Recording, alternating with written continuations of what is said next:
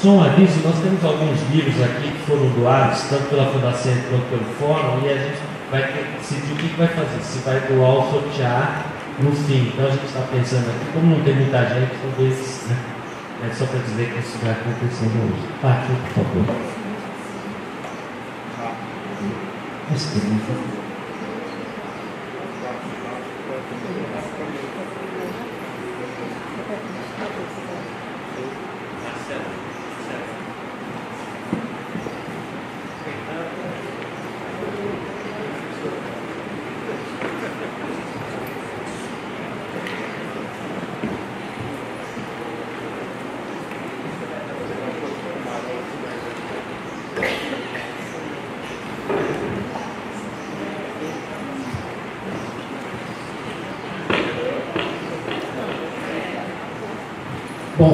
vamos dar início, né? Uh, não atrasar muito. Bom, eu sou Fátima, uh, sou da Universidade Federal de São Paulo, aqui do campus Baixada Santista. gostaria primeiro de agradecer muito né, o convite de estar aqui ao lado da Adelaide. uma, uma, eu fiquei pensando hoje, assim, estou vendo vários amigos, né? há tempos que a gente não um evento assim que se encontra, pelo menos eu aqui na Baixada não tenho saído muito daqui da Baixada, uh, e eu acho que é um evento muito importante. Né? É, esse é um grande momento, porque estamos vivendo também uma situação uh, muito difícil no país, né? uh, com muitas perdas, com, com retrocessos, talvez tenhamos aí um pequeno toque de idade média, né? E isto, essa discussão de hoje é muito importante, né? É, até para nos uh, fortalecermos uh, para continuar a caminhada. Então, uh, eu vou apresentar para vocês, agradeço ao Juvenal né? e ao Marçal. Né? O convite é do Marçal. Eu agradeci, mas eu não disse o nome. Né? Bom, eu preparei aqui uma apresentação da, da professora Adelaide, né? Adelaide do Nascimento, Uh, Adelaide, ela atualmente está residindo na França. Ela é professora de economia do Quinan. Ela possui graduação em fisioterapia pela Federal da Paraíba, Nordeste Resistente. uh, tem mestrado em engenharia de produção também pela Federal da Paraíba. Mestrado e doutorado em economia pelo Quinan, Paris, França. E assim, as suas pesquisas comportam interesse particular pelo papel da organização do trabalho e dos modos de gestão, tanto no desenvolvimento de doenças ocupacionais, sejam elas físicas ou mentais, como na qualidade do trabalho realizado, serviços ou produtos. A segurança das pessoas nos sistemas também faz parte do âmbito de suas pesquisas, intervenções realizadas no campo da indústria e dos serviços, nomeadamente hospitais. Então teremos aí agora com gente, né, apresentando e discutindo aí a. Muito obrigada. Obrigada. Obrigada a todos pela presença, obrigada pelo convite que foi feito por Marçal. Muito feliz de estar aqui no sindicato, no, lugar de trabalho de luta, né, como já foi dito anteriormente. Muito feliz de estar também lisonjeada participando desse debate com grandes nomes da ergonomia no Brasil, que eu acompanho de longe, estando na França. É, eu comecei minha formação aqui, né, como foi dito, aqui no Brasil, na Paraíba, segunda paraibana do dia, né, Pará. Eu posso chamar Pará, né? Segunda Paraibana do dia, depois continuei minhas, meus estudos e pesquisas na França, hoje faz 13 anos já que eu moro lá, e sou professora no Conservatório de Artes e Ofícios da França, que é um local importante para a ergonomia da atividade, não sei se todo mundo sabe, mas é o berço da ergonomia da atividade na França, né, com um, um, professor muito importante para a nossa disciplina, que é o Alain Bisnet, que fez uma ponta importantíssima também entre os pesquisadores do Brasil uh, e da França. E a gente continua com essa tradição. Hoje eu vou falar para vocês um pouco da minha experiência com relação à segurança nos hospitais, na né, segurança dos pacientes. Mas claro que a questão da segurança dos pacientes não é, não é completamente a, é, a parte com relação às questões de saúde no trabalho dos trabalhadores. Né? O Rodolfo estava falando agora a questão de qualidade do produto, e condições de trabalho, a gente pode fazer a mesma analogia com a segurança dos pacientes, os erros médicos ou falhas médicas e as condições na, nas quais são realizados o trabalho pelos trabalhadores.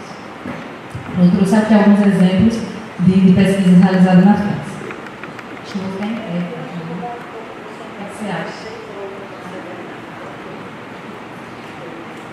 Eu adaptar aqui meu espaço de trabalho.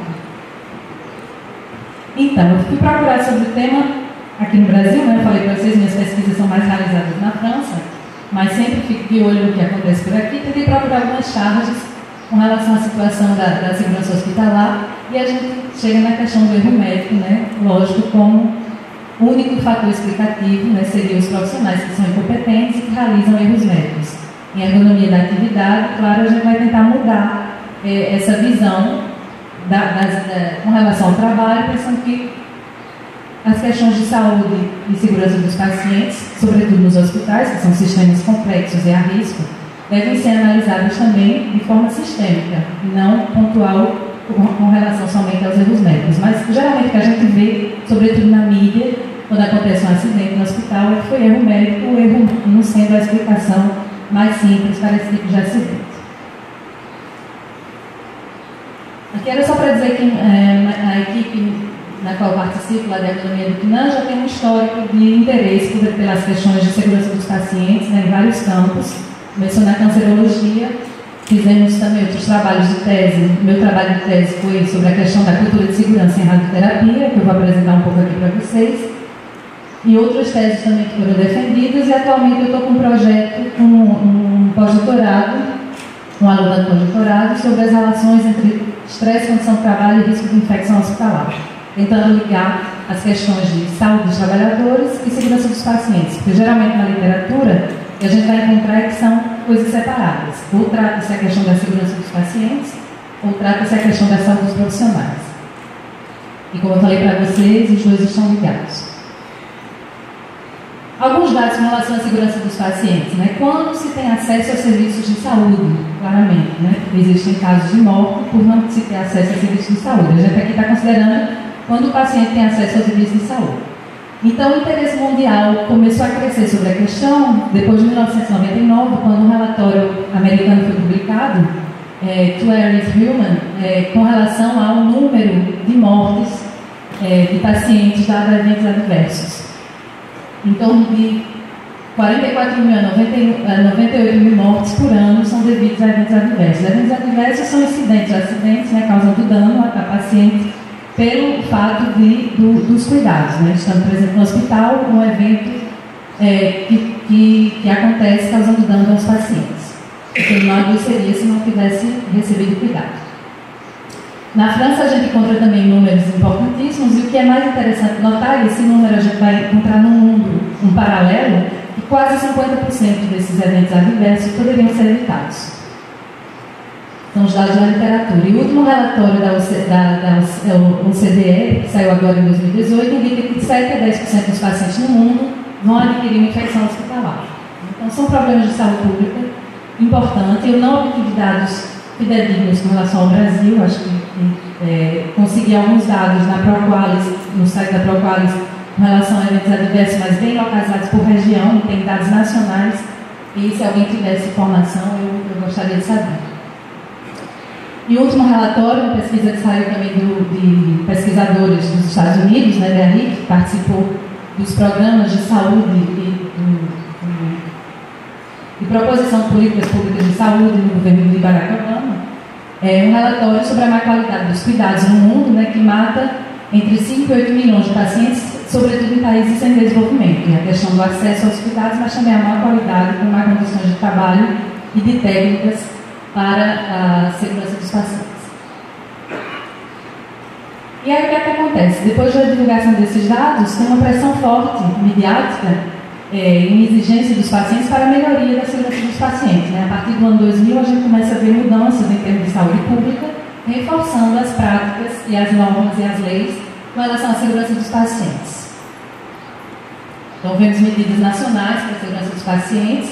Na França começou em 2004, Aqui no Brasil, é, foi implementado em 2013 né, o Núcleo de Segurança dos Pacientes, obrigatório nos hospitais, que se baseia com indicadores de qualidade da acreditação também dos hospitais, que é uma tendência mundial, né, a partir de indicadores de gestão, os hospitais vão pedir acreditações para entrar em uma lista de hospitais que são considerados melhores. é, em termos de segurança e qualidade, né, com todas as críticas que a gente pode fazer ao tipo de indicadores utilizados, mas o que a gente vê é uma visão normativa da segurança ainda nesses modelos. Né, uma ideia de que a segurança, como já foi falado também aqui, é, a ideia da segurança é um modelo que é cristalizado através de regras de segurança. A partir do momento que eu coloco regras de segurança e que eu faço a fiscalização, não deveria existir acidentes. Né?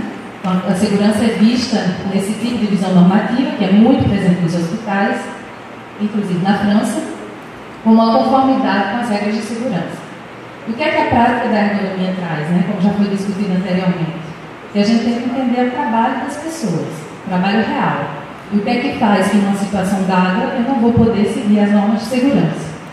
E ainda bem que existem profissionais que não vão seguir normas de segurança em alguns casos, porque a gente sabe que seria contraprodutivo ou até mesmo causar acidentes.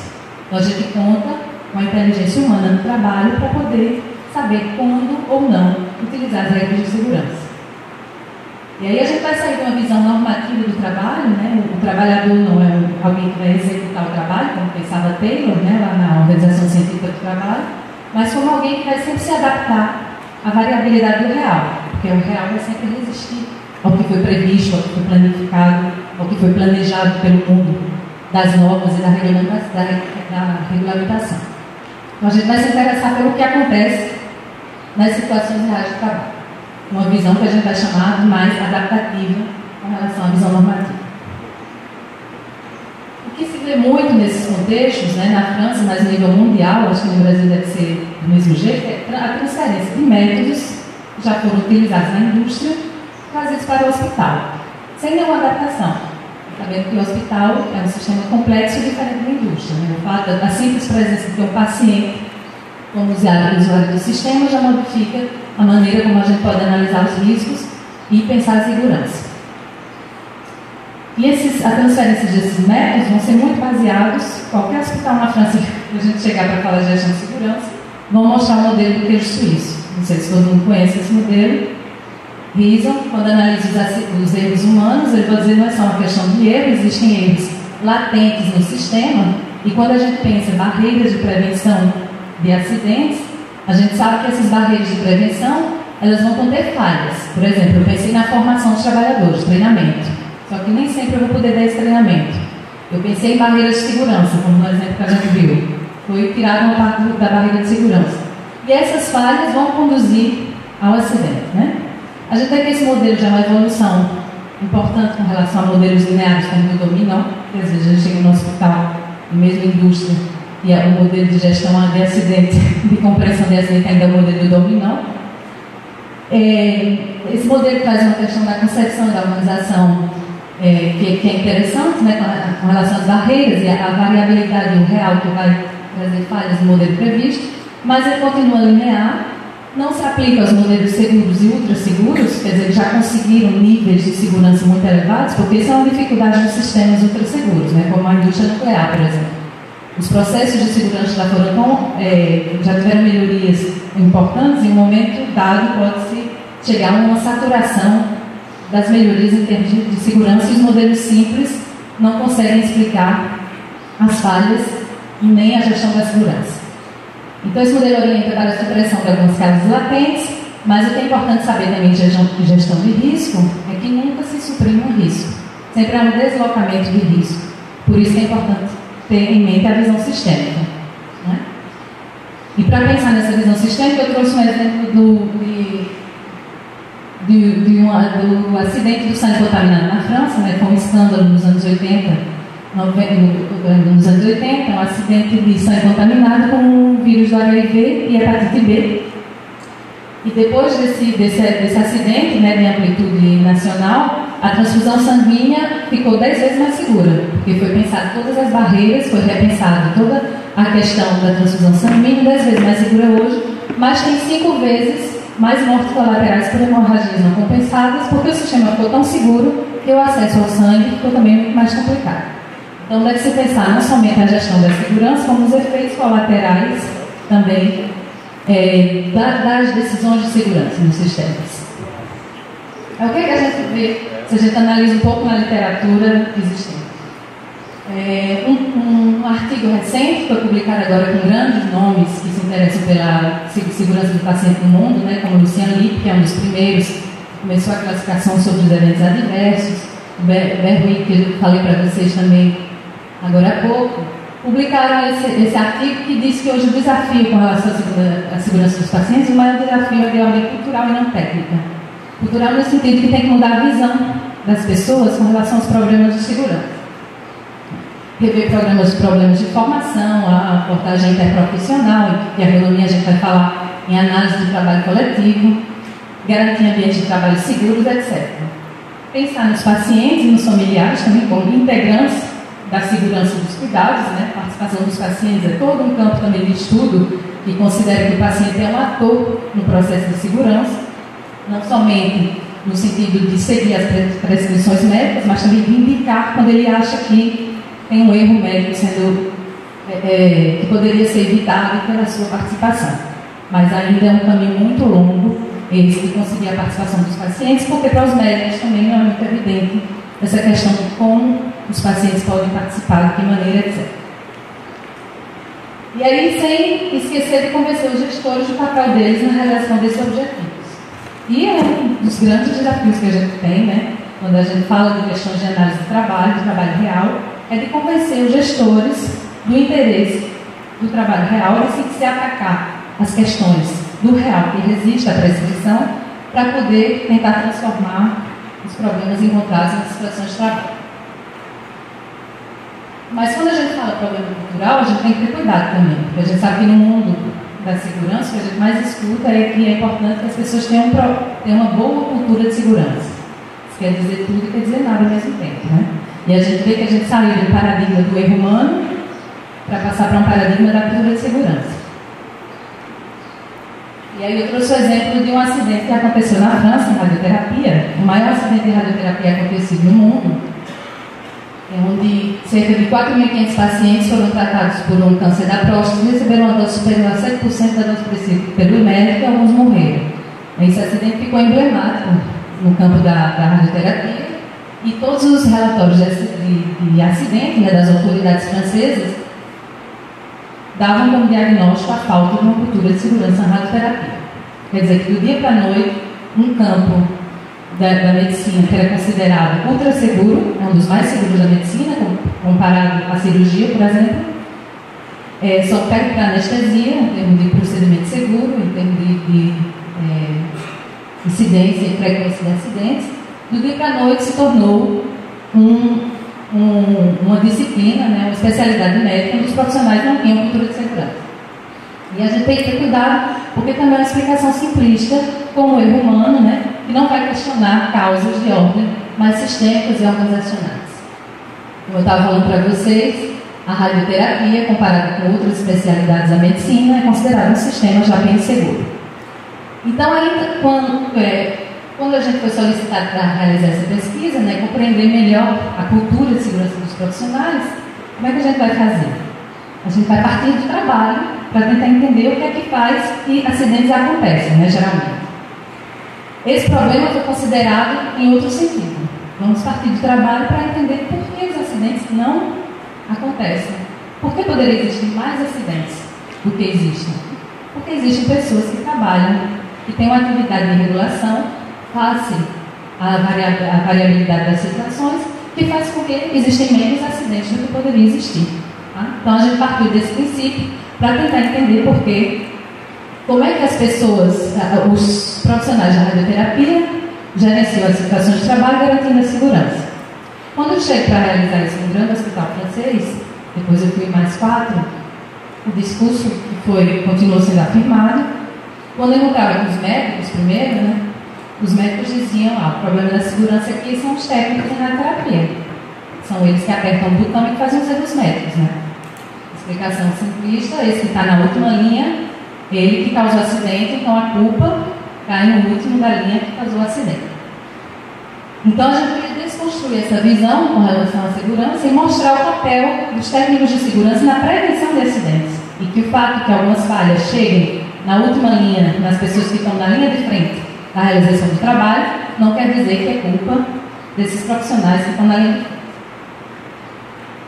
Então, os técnicos em radioterapia, né, são responsáveis pela realização do tratamento, a gente vai analisar a atividade deles, passei muitas horas com ele, é um processo, processo longo para tentar entender o que é que eles fazem, né, também analisei o trabalho dos outros profissionais em radioterapia, os médicos, os físicos médicos e os dosimetristas que realizam a dose para o tratamento radioterapêutico. E eles têm, né, vão realizar o tratamento no paciente, vão realizar tarefas de controle e vão executar a prescrição médica que foi indicada pelo médico e pelo físico médico. Isso faz um contexto forte de uma pressão temporal importante, né, porque os tratamentos são, tem um tempo mínimo de tratamento, que é, é, é, geralmente mais ou menos 15 minutos, mas a gente sabe que de um paciente para o outro, o tempo do cuidado vai demorar para alguns meia hora, para outros 40 minutos, para outros 10 minutos. Então, esse tempo de 15 minutos nem sempre é de acordo com a realidade da atividade. E tem as urgências também do tratamento, né, trata de, de, casos de câncer, como eles diziam sempre, não é problema de dermatologia, então tem que se tratar os pacientes nos dias certos, nos dias das sessões, etc. E se a gente anula uma sessão, a gente está reduzindo as chances de cura do paciente. E aí, um, um, trabalho que poderia parecer aparentemente simples, realizando um tratamento que prescrito pelo médico, ela só tem que apertar um botão, acionar a máquina, posicionar o paciente e acionar a máquina para que o tratamento seja realizado. E aí eu vou analisar o trabalho, eu vejo que vários, vários problemas chegam no dia de realizar o tratamento. Está faltando acessório, está faltando material para realizar o tratamento, está faltando a prescrição do médico que não chegou, ou a prescrição chegou, mas não tem assinatura, sem assinatura, sem validação não posso realizar o tratamento, e assim vai. E aí um trabalho que parecia simples, na verdade, não é tão simples assim, porque elas tomam decisões que são graves e podem ter consequências graves para elas e para os pacientes. Eu vou dar um exemplo para vocês.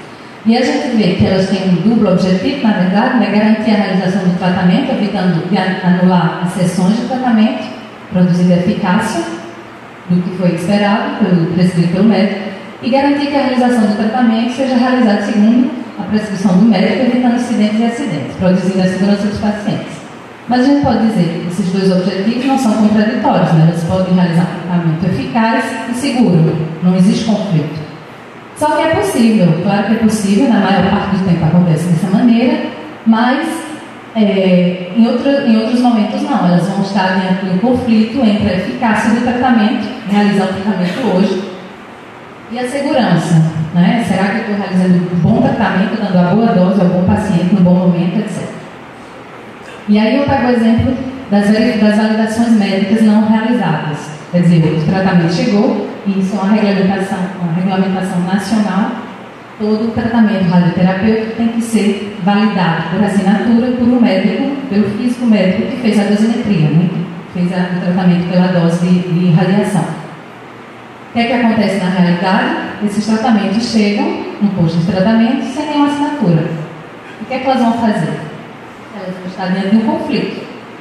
Ou elas vão realizar a sessão respeitando a eficácia do tratamento, eu tenho que realizar hoje, vou fazer, ou eles vão anular a sessão e não vão respeitar a eficácia, mas pelo menos não vai ter risco de de dar a dose errada, de dar a dose que o paciente, o médico não queria que elas dessem. Então aí a gente identifica um primeiro conflito na atividade desses profissionais que devem tomar, devem tomar decisões é, sobre decisões médicas, né? É, com relação a tratar ou não tratar um paciente. Então, o que, é que elas vão fazer? A gente vai ver que elas vão fazer regulações, como a gente diz em economia, elas vão tentar estratégias para que elas não fiquem face a esse conflito. O que, é que elas vão fazer? Elas vão procurar primeiro tentar recuperar a situação, procurando o médico para assinar. Elas ligam para o médico. Não, não está aqui, não está disponível, está no bloco, está em lugar. Tá. O físico está aí, não, não está aqui, não está disponível, carga de trabalho, não. Tá, não dá. E aí, em alguns casos, quando elas conseguem, elas vão realizar a sessão sem nenhum problema de eficácia de segurança, mas em alguns casos, outros casos não. Tá? Então, elas vão ter que escolher entre a eficácia e a segurança e vão fazer uma segurança que a gente chama gerenciada segurança na ação. Diante da experiência que elas têm, diante do conhecimento que elas têm com relação ao trabalho dos médicos e dos físicos, elas vão decidir se tratam ou se não tratam os pacientes. A gente parte de um exemplo simples como esse, mas é um exemplo que evidencia falhas na organização do trabalho, na distribuição do trabalho, e também as responsabilidades de quem deve ou não tomar decisão. Porque, geralmente, o que, é que acontece? Essas situações funcionam muito bem até o dia em que não se tem um acidente de radiação. No dia que tem um acidente, quem vai ser responsabilizado vai ser a técnica de radioterapia que realizou o tratamento. E elas têm consciência disso, elas falam disso o tempo todo. E aí eu fui em dois hospitais, a gente vai ver que a questão da cultura de segurança, quer dizer, a maneira como eles veem a questão da segurança e como eles agem com relação à segurança vai mudar. Em um hospital, se não tem a validação médica, eles vão sempre realizar a sessão. Por quê? Porque é isso que a gente vai entender a ergonomia, né? a gente não tem um julgamento com relação se é bom ou se não, se esse proceder, esse comportamento está certo ou está errado. O que é que faz eles realizarem a sessão? Primeiro, uma coisa que a gente chama na ergonomia que é a tarefa esperada. Qual é a tarefa esperada nesse hospital? É que ela realize o tratamento. A gente não envia é, paciente no dia do tratamento para casa. Então, a, a tarefa esperada dela é que ela realize o tratamento. Só que ela vai desenvolver estratégia para realizar esse tratamento pensando no conhecimento que elas têm dos médicos e dos físicos que trabalham juntos. Então elas vão dizer, ah, se for tal tratamento, elas vão, se, elas vão criar regras né, é, com relação à experiência para dizer se for tal médico, tal físico, que eles sempre trabalham juntos, não deve ter erro no tratamento, porque eles um confia no outro, então está tudo bem. Se for um caso, é, uma próstata, um câncer de próstata, por exemplo, o tratamento vai ser sempre um protocolo especializado, então eu sei que vai ter problema. E elas vão se dar justificativas, nem aí a gente chega no saber dos trabalhadores, para poder gerenciar a segurança. Não está escrito em lugar nenhum, não é formalizado, são regras de saberes dos trabalhadores para poder fazer face às situações que vão sendo depois compartilhadas no coletivo. Né? A ausência de validação médica no outro hospital, o que, é que a gente vê? A sessão vai ser anulada, sistematicamente. Porque a cultura que foi estabelecida nesse hospital é que, o que, é que a gente faz? Os médicos são, são mais jovens, eles passam por esse hospital quando saem da, da faculdade, né, é, primeira experiência, e depois vão para outros. Como eles são jovens e as técnicas têm mais experiência do que eles, elas dizem a gente tem que ensinar para eles que eles não podem fazer isso. Então, toda vez que isso acontece, sabendo o que eles vão fazer, é que a gente faz? A gente barra o tratamento anula a sessão, o paciente vai embora, reclama, volta. E dessa maneira, a gente sabe que os, os médicos vão terminar achando um jeito para poder assinar o tratamento e a gente não se encontrar nesse tipo de situação. O que é que a gente fez depois? Né? Vamos saber então o que é que os coletivos de trabalho acham desse, desse tipo de situação, desse tipo de prática. Essas práticas são aceitáveis por todos, tratar, não tratar, e outros casos de situação concreta que a gente é, encontrou, como o Marcelo tinha falado, né, quando a gente vai para os grupos de trabalho discutir com os trabalhadores, a gente sempre tem um objeto intermediário, que parte do trabalho, da análise que a gente fez do trabalho. Então, o que é que eu fiz? Eu pego essas situações que eu encontrei, como o exemplo que eu dei para vocês, e outras situações de falhas na, na organização, e levo isso para o debate coletivo com os profissionais. Né? Primeiramente individualmente, depois a gente faz esse grupo. Individualmente, o que a gente vai ver é que já as situações não são todas inaceitáveis. A poderia pensar, tinha casos aí dentro, tinha risco de radiação, de acidente real para o paciente, mas mesmo assim, algumas pessoas vão julgar que elas não são todas inaceitáveis. Desculpa, foi em francês, mas vou traduzir aqui. O que, é que a gente vê também que é importante? Que o ponto de vista das dos técnicos em rádio é diferente do ponto de vista dos médicos, por exemplo, com relação fato de aceitar ou não uma situação que a gente chamou de não, não padrão, tá? Como essa situação que eu apresentei para vocês. E a gente vai ver que eles não têm a mesma opinião sobre as situações, eles não têm o mesmo ponto de vista, porque eles têm uma posição de, de ator que é diferente, porque eles têm uma atividade que é diferente. Eles têm um poder de ação também sobre os erros, sobre a recuperação que é diferente. Mas nada disso era discutido é, nos hospitais onde eu pude realizar a pesquisa. Aí o que, é que a gente faz? A gente traz essas questões partindo do trabalho, partindo do diagnóstico, e vamos tentar agora trazer isso de maneira coletiva, para que esse coletivo entre num acordo sobre a gestão da segurança. O que, é que a gente aceita aqui como prática? A gente está vendo que está tendo sofrimento aqui nesse pessoal técnicos que estão tomando decisão, que acham que não deveriam tomar, e o que é que a gente faz para tentar discutir sobre os critérios, o que é que eu devo fazer ou não, e quais são as modificações na organização que a gente tem que fazer, para que o trabalho seja considerado e realizado mais seguro. E aí a gente realiza grupos de trabalho, né, grupos de debate, partindo de casos, de cenários de atividade, onde a gente conta uma historinha. O paciente chegou hoje 10 horas da manhã, o tratamento não foi validado, etc. A técnica de radioterapia realiza o tratamento. O que é que você acha? E aí eles entram num debate sobre as práticas reais de trabalho né, e sobre as maneiras de agir no, no caso dessas situações de radiotrabalho. Para que se entrem a partir dessa discussão que podem, eles podem entrar em acordo, mas a questão não é tanto que eles entrem em acordo, a questão é que eles discutam os critérios de qualidade e de segurança que eles vão se dar nesse coletivo. E vai mudar de um hospital para outro, porque os meios organizacionais técnicos, eh, os meios efetivos são diferentes de um hospital para outro, mas que neste ambiente que a gente está, com os gestores que a gente tem, com os métodos que a gente tem, o que, é que a gente aceita como prática? E aí a gente vai colocar algumas práticas de lado e vai dizer, não, aqui a gente vai dizer que vamos aceitar esse contrato. Mas isso também não é definido uma vez e acabou. É um processo. Né? A gente fala de espaços de debate sobre o trabalho que devem ser instaurados nas organizações como um processo. Então, eles tinham já reuniões que são obrigatórias sobre o retorno de experiência de acidentes uma vez por mês, e a gente diz, ó, nessas reuniões vocês estão falando de trabalho, vocês estão falando de risco, vocês estão fazendo análise de risco, vocês estão falando de risco, então, falando do trabalho, se vocês começarem a trazer questões de trabalho, os debates vão ficar mais interessantes. E a gente tenta dar esses espaços para que a questão do trabalho apareça de maneira mais ainda. E que cada um possa, nesses espaços, escolher qual a que ele pode fazer de acordo com o seu coletivo. Né? É, reduzindo essa responsabilidade, essa interiorização das decisões que podem conter o risco para si ou para os pacientes. Aí partindo dessa. Eu estou com tempo ainda? Nem vi, estou fácil. São 15 para as 4 por aí. Nós temos que terminar às 4 horas. Você tem um pouquinho 10 minutos, 15 às 5. 5 para acabar. É que começou atrasada, né? Não, tudo bem. Acho que tem que Mais 5, então ela tem mais Não, tem mais 10 minutos. 10 minutos, exatamente isso que foi falado. quinta. Então tá. Isso, Adelaide, 15 minutos. Hã? A gente conseguiu se sempre. Mantém. Coisa que eu não falei em relação a isso é um problema também de categoria profissional, né? E foi importante de revisitar nesses coletivos. A questão da autonomia e do poder do médico com relação ao técnico de radioterapia né, foi um debate interessante. Com as questões das responsabilidades e, e quem deve fazer o quê e por quê. Mas aí o que, é que a gente vê hoje, né? Alain Wisner, que eu falei para vocês inicialmente, falava do, da batalha do trabalho real. Que o ergonomista tem que ter essa batalha do trabalho real, de trazer o trabalho real para os espaços de concepção, por exemplo, a engenharia, para que os métodos de, de trabalho sejam adaptados de acordo com o trabalho real.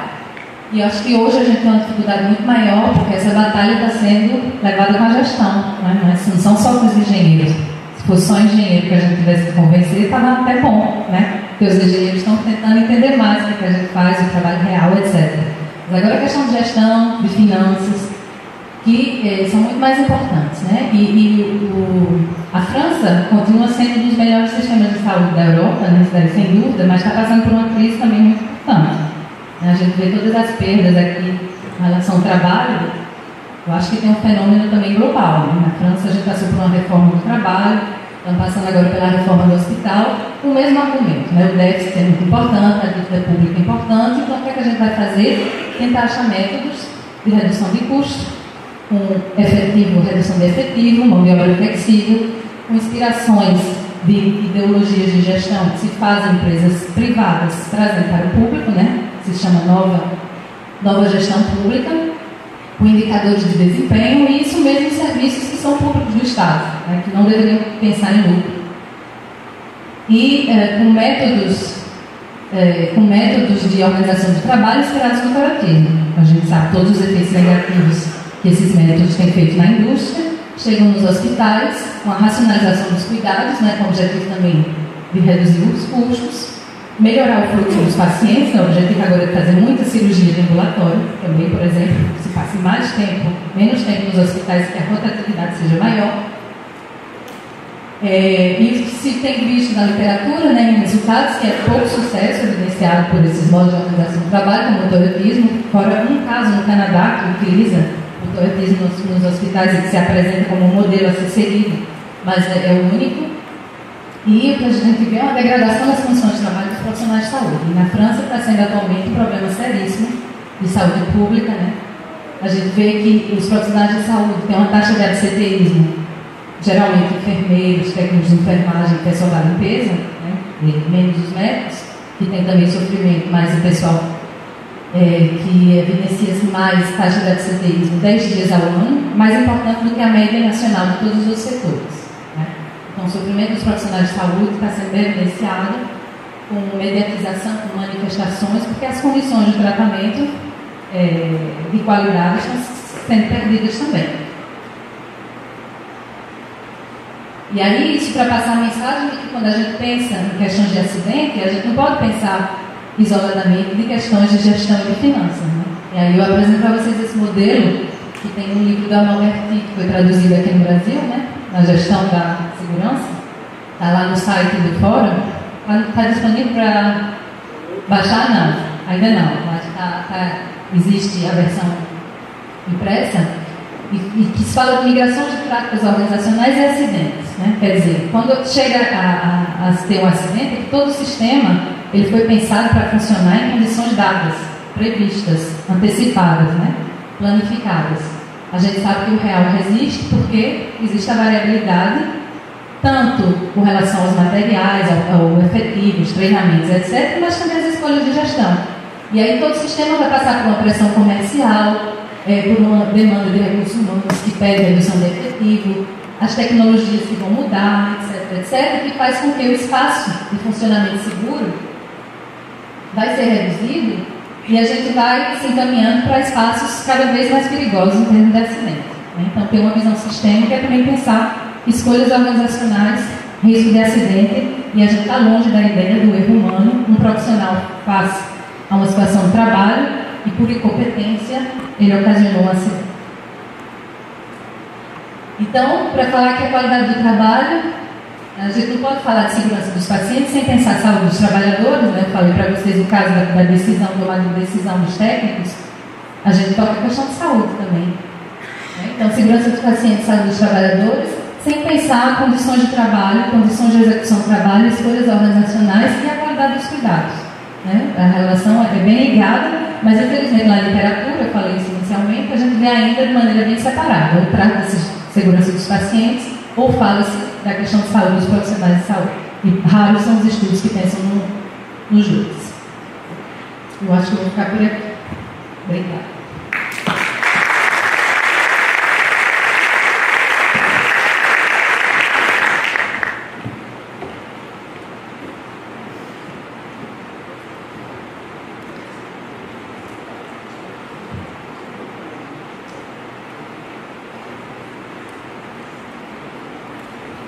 Estou combinando. Adelaide, a gente abriria então agora para uns 10 minutos de, de perguntas e questões que vocês queiram levantar, né?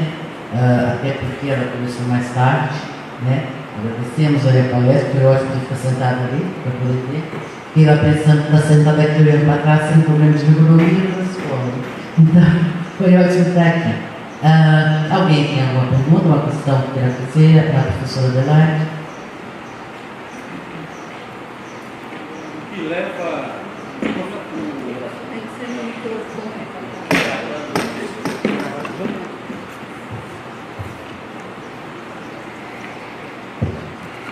que leva o profissional, Acho que não está saindo. o profissional, é, falando em fazer indústria, né, pacientes né, contaminados, e por, você passa no médico, o médico persiste que aqueles né, ainda fique exposto à contaminação. Essa né, segurança da indústria que é tão segura, né? O que, que leva esse profissional a fazer isso? Né, o que fazer com né, esse descaso? E provavelmente não deve ser só do médico, né? A deve vir de cima também. Ah, a cobriria aqui com a, com a professora Adelaide, Se alguém tem mais alguma pergunta, ela prefere responder mais de uma uh, uh, juntas. Quer dizer, mais, mais duas perguntas. Se ela não acabar a responder, tá bom? Tem uma curiosidade, Adelaide, em relação à interface dessa questão da saúde do trabalhador e da segurança do paciente com os serviços de saúde mental. Né? É, a, assim, eu estou acompanhando.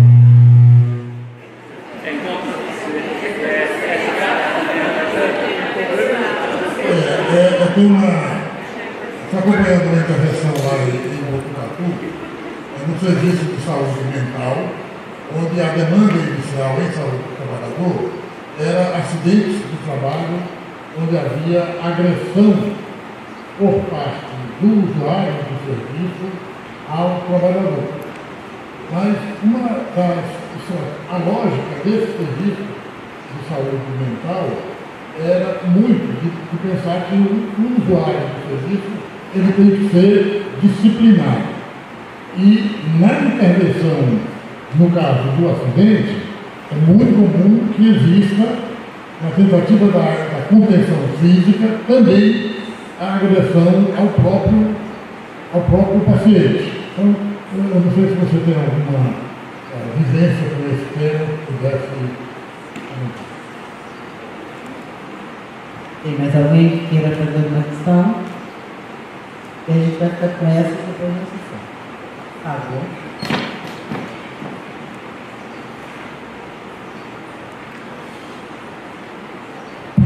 Boa tarde. Dentro de toda a metodologia que foi colocada de forma de análise no seu estudo, existe algum procedimento, algum protocolo que esteja em desenvolvimento a ser aplicado para reduzir os riscos nos procedimentos de radioterapia, especificamente em ergonomia? Ah, combinamos aqui com a professora Adelaide. Se tiver mais a, a última pergunta, ela responderia todas de uma vez. Tem mais alguém que queira fazer uma outra pergunta? Então nós vamos proceder à resposta da professora, ok?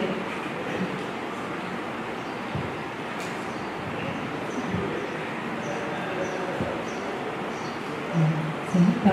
Vamos escutar? Sim. Vou começar pela última. Protocolo. Existe um protocolo de medicina e radioterapia. Tá? Eu acho que o problema não é a falta de protocolo, não. Existe muito protocolo em medicina e radioterapia. Quando eu comecei minha pesquisa, que já faz um tempinho, uns 10 anos, já, já existia muito protocolo de gestão de risco, de gestão de tratamento. É, existia menos protocolo com relação ao trabalho. Eu, mas a questão é sobre a ergonomia. Eu, eu vou responder. É, o grande ausente desses protocolos, eu acho que quando se pensa a questão da segurança dos pacientes, vai se pensar em eficácia do tratamento, baseado em evidências. As evidências médicas mostram que, então vamos fazer tal protocolo. Tá? E tinha menos protocolo, protocolo em termos de organização do trabalho, em termos de, de repartição de, de tarefas entre os trabalhadores. Por exemplo, quem faz o quê, quem é responsável pelo quê. Qual é o fluxo das tarefas, quando termina, porque a radioterapia é uma cadeia de tratamento complexa, né, com vários profissionais, um coletivo transverso, como a gente chama. Quem começa um tratamento a partir de qual momento, a, a, desculpa, a partir de qual momento, quando se termina é, uma tarefa que foi realizada anteriormente. Então, tudo isso faltava em relação ao trabalho, em relação às técnicas, sempre existe um protocolo. Depois desse acidente, e alguns, alguns trabalhos, muitas pesquisas foram realizadas sobre a radioterapia, o Ministério da Saúde tem um Observatório Nacional para a Radioterapia, com vários especialistas, né? E começaram a criar protocolos de análise de acidente a priori, né? análise de acidente, com retorno de experiência também. É, então, existem protocolos e a ergonomia, o que, a gente faz? A gente nossa abordagem é situada nessa questão. A gente tem o protocolo que vai dizer quais são os riscos que podem ser é, evitados. A gente coloca sempre a questão do trabalho real, que deve ser analisada, a questão do trabalho coletivo. Então, a gente tem algumas recomendações, como estava dizendo no grupo ali, com relação ao que deve ser considerado. Mas não existe um protocolo da imunologia para elas mesmas. Não sei se era a sua pergunta.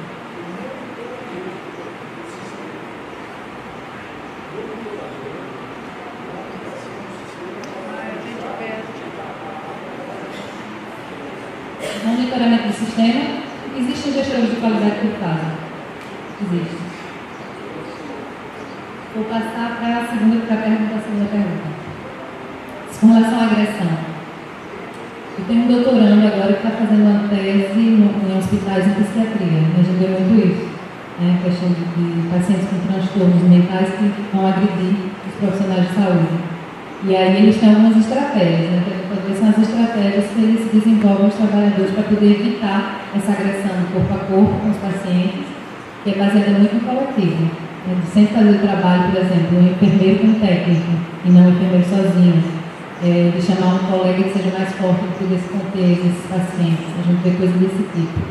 Não sei se era e aí, lógico que tem um conflito importante, um sofrimento também para os trabalhadores, porque eu, eu, tenho que realizar um cuidado e, ao mesmo tempo, posso me encontrar numa situação de agressão com essa paciente. Não sei se é do mesmo nível que você encontra aqui, mas as questões podem ser as mesmas. De, de qual é o meu papel enquanto cuidador se eu tenho um paciente agressivo, por exemplo. Né? E a primeira, eu não sei se eu entendi muito bem sua pergunta. Você podia, podia repetir? Você estava falando da radioterapia ou da, da indústria de maneira geral?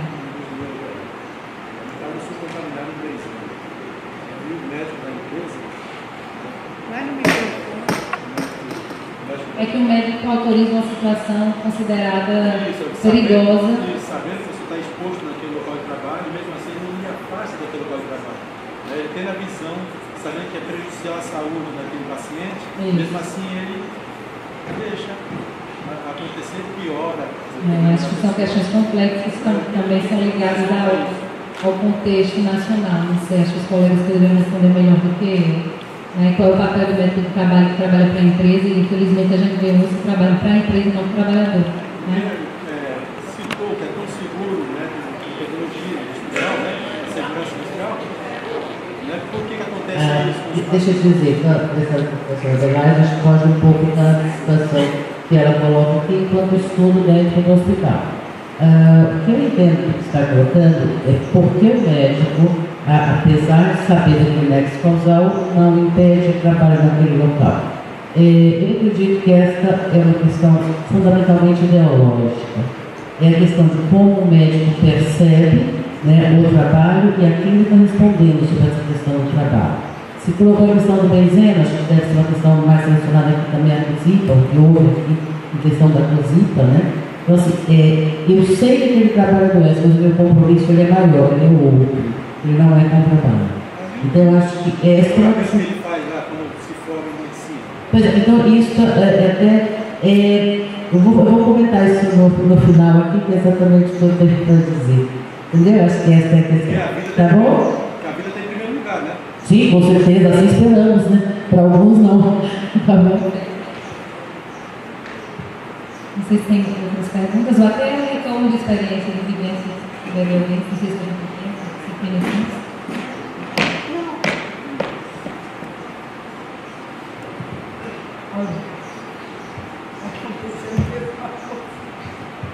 Alô? Oi. É, boa tarde, meu nome é Thaís, eu sou da Fundação de São Paulo prazer ter você aqui. Eu tive uma aluna que trabalhou no mestrado dela com esse tema de segurança do paciente. Ele é bem delicado, né, dentro dos hospitais. E, e aí, em relação, até tentando fazer uma ponte da pergunta dele, com o que a Fátima falou, é, um exemplo claro, por exemplo, na situação de trabalho que ela estudou, ela estudou no hospital universitário, então o hospital universitário a cultura é um pouco diferenciada. E os próprios médicos também não têm uma relação tão autoritária em relação à equipe de enfermagem. A gente focalizou na, nos técnicos de enfermagem, né? É, na, no grupo de nível mais baixo, né? aqueles que iam administrar os medicamentos e que, como você falou, o erro de administrar o medicamento errado fica para eles. E era muito interessante porque ficou muito claro que eram elas que tinham que dar conta é, dos problemas que advinham dos, das prescrições médicas. Você citou o caso de falta de assinatura, a gente encontrou não legibilidade, quer dizer, não dava para entender a prescrição. É, eles não seguiam os protocolos pedidos de abreviações das medicações, tinha uma série de questões. Mas, é, diferentemente do que a gente esperava, esses médicos eles davam muito mais acesso a essa equipe de enfermagem do que a equipe da farmácia. Elas tinham que, como elas tinham que separar as medicações, a equipe médica fazia a prescrição, ia para a farmácia que dispensava e elas confrontavam a prescrição médica com o que a farmácia dispensava. E aí a farmácia nem sempre dispensava corretamente, a falha vinha da farmácia e elas não conseguiam negociar com a farmácia, elas não conseguiam um diálogo com a farmácia para corrigir essa falha. E elas tinham que muitas vezes burlar o sistema, como você está falando, burlar a norma. É, ah, quebrou aquele medicamento, vou ter que buscar outro, né? porque a farmácia não aceitava que tivesse errado. Então eu acho que, assim, eu estava pensando aqui um pouco no que ele está falando, essa questão da visão autoritária, e no que a gente não pôde fazer, porque é, é, é são 12 meses para trabalhar a parte empírica do projeto aqui na, no mestrado, né? Mas isso que você colocou muito interessante, que até no outro trabalho a gente tentou discutir um pouco, que é a questão do espaço do debate, que eu acho que tem a ver também com a pergunta que a Juliana estava trazendo, né? Eu acho que você responde um pouco na hora que você traz como solução criar um espaço de debate onde esses valores podem ser trabalhados, né? E a gente pode entender as razões para essa farmácia, as ameaças que ela sofre, né? Por estar também trabalhando com esses medicamentos e, e elas têm um controle em cima daquilo que elas dispensam muito grande. A gente não fez um estudo sobre a farmácia, nem de outros trabalhos, né? Mas enfim, quer dizer, a gente sabe que a farmácia sofre pressões e tem problemas os médicos, eles conseguem ser mais amistosos também por suas razões, né? Porque elas estão corrigindo o que eles tinham feito, né? E eles veem nisso uma coisa positiva. É, e daí eu acho que você poderia talvez falar um pouco dessa solução, de como que vocês trabalharam essa questão desse espaço de debate, do saber fazer das equipes, né? Porque você falou exatamente desse fluxo que envolve vários profissionais. Acho que essa é uma das partes da complexidade do hospital, né? O resultado daquele trabalho, ele advém de trabalhos de várias pessoas que juntos vão convergir para dar aquele resultado, né? Obrigada, desculpa se ficou comprido. Obrigada pela experiência relatada, eu vou tentar ser breve. É, o que, é que aconteceu? Quando a gente fez essa, essa restituição, a gente mostrou o diagnóstico para esses profissionais, o que é importante perceber é como falta uma visibilidade com relação ao trabalho real. A gente pensa que é uma evidência que a gente pensa? Assim, tem que se interessar pelo trabalho real, é uma coisa que a gente diz sempre e tal, mas não é uma evidência de jeito nenhum para as pessoas que estão no cotidiano da situação de trabalho. Quando a gente apresentou, apresentou os resultados para os médicos, eles disseram assim, como assim elas tomam decisão? Lógico que elas tomam decisão todos os dias. E para eles foi assim, absurdo, não, não é para elas tomarem decisão e tal. As outras colegas que dizem, como assim vocês fazem isso? Porque a responsabilidade é de vocês. Aí começou a ser discutida a responsabilidade. Se tiver um acidente, de quem vai ser a responsabilidade? Quem assinou, quem não assinou, quem fez o tratamento? E a gente vê até que ponto as, as técnicas são assim. É, elas consideravam que a responsabilidade era delas, não, se eu fiz o tratamento, eu sou responsável, não, não deveria fazer. E aí, sem dar uma resposta quem é responsável e quem não é, o importante não é tanto achar uma resposta, que a questão seja colocada, que a gente pare de silenciar essas questões que existem todos os dias, são conflitos que são vividos por trabalhadores todos os dias, e que passam despercebidos nas organizações porque existe um desconhecimento do trabalho de todos, né, da influência do trabalho de todos no trabalho de cada um. Então, o que a gente tenta fazer nesses casos é isso. É, inicialmente, os médicos então ficaram mais abertos né, para participar dos debates e a gente sempre trazia casos de trabalho real. Eu dou esse exemplo dos médicos, mas tinha outros casos que é, é o trabalho das enfermeiras que impactava o trabalho dos outros, das técnicas que impactavam o trabalho dos outros. Então, a gente tenta fazer circular para virar uma guerra entre categoria, não é o objetivo de jeito nenhum, é justamente mostrar que cada categoria tem sua lógica de ação com relação à atividade que ele desempenha Mas minha lógica de ação pode entrar em conflito com a lógica do meu colega. Se eu não conheço o trabalho do meu colega, né? se eu não conheço os impactos do que eu faço no trabalho do outro. Então, o objetivo é isso, é debater o impacto da minha atividade sobre a atividade dos outros, dentro do limite de que a gente pode resolver nesses coletivos, porque muita coisa sai do nível do coletivo, né? Algumas coisas não vão poder ser gerenciadas pelo coletivo. É, é, relativo ao hospital, a gestão superior. E aí tem que ser outros níveis de discussão. Então a gente tentou fazer isso. E o que, é que eu queria falar de outra coisa, mas acho que. Respondi a sua pergunta? Acho que sim. É, com relação a essa questão do valor da vida, né, que ele está falando, que eu acho que você pode é, pensar, né? Ô, Thaís, é só porque nós estamos com o tempo, com o tempo, né? Acho que pode ser conversado para depois, depois da mesa da lei, Não, era só porque assim, nós estávamos começando com essa questão da lógica da gestão, né, de custo, essas coisas, quando ele fala a questão da vida, né? Quer dizer assim, como que para nós é tão claro que a vida das pessoas estaria em primeiro lugar e na hora em que a vida está confrontada com um risco real, ela não parece ter o mesmo valor. Né? Eu acho que essa aqui é uma, uma, colocação que eu discutir, que eu acho que é o que eu falei, vai ser no debate. Tá. Ok, uh, eu quero só convidar um, um minutinho final e eu farei o fechamento da mesa.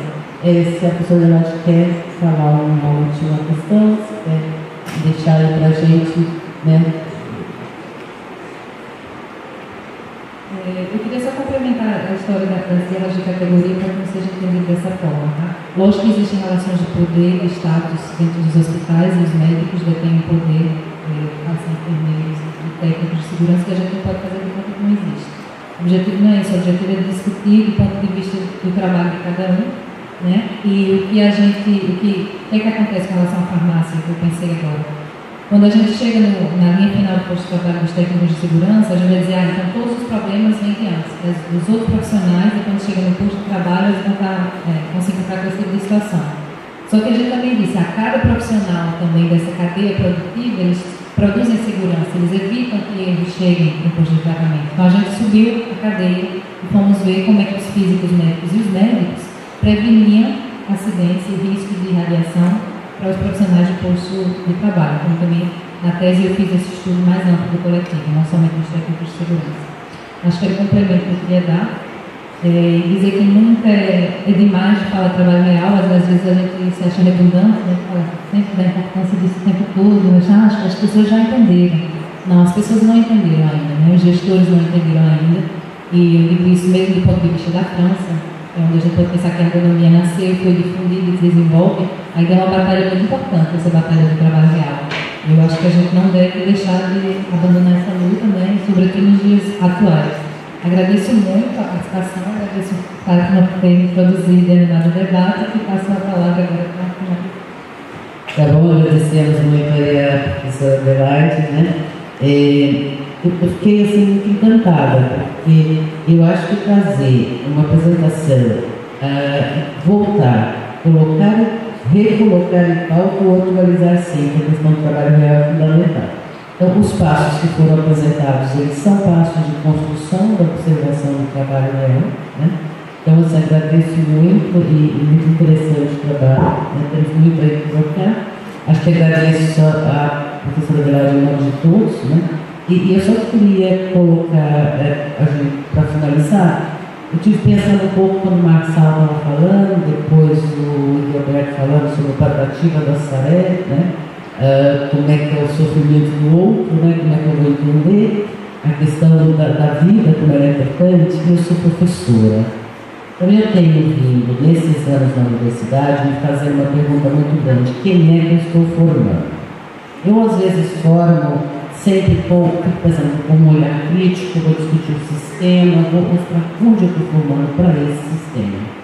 Então hoje é um dilema muito grande, é assim, como eu vou poder transformar a cultura, como eu vou poder é, transformar e discutir questões contra-ideológicas, porque aí eu vou quebrar paradigmas, paradigmas do adoecimento, a culpabilidade do homem, paradigma do, do médico, que é o que domina tudo, não quer ouvir o outro, né? Então, assim, eu tenho hoje entendido só se mudam ações, também mudando paradigmas e mudando questões ideológicas hegemônicas fortes. Então, como se forma na escola de medicina, como se forma os técnicos da saúde, como se formam os técnicos. E tenho discutido muito, hoje eu tenho discutido em sala de aula, não sei até quando, né? Mas o que é um projeto neoliberal?